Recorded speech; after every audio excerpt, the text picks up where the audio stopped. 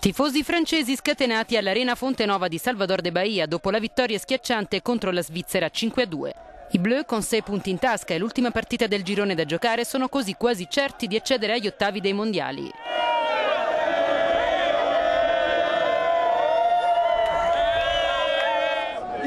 Loro si sono impegnati in campo, noi sugli spalti. Ci hanno reso felici, ora è il momento dell'euforia. Siamo in Brasile. Viva la Francia, vinceremo la Coppa del Mondo, non molliamo. La generazione del 98 è finita, dimentichiamola, con la nuova guidata da Benzema vinceremo i mondiali.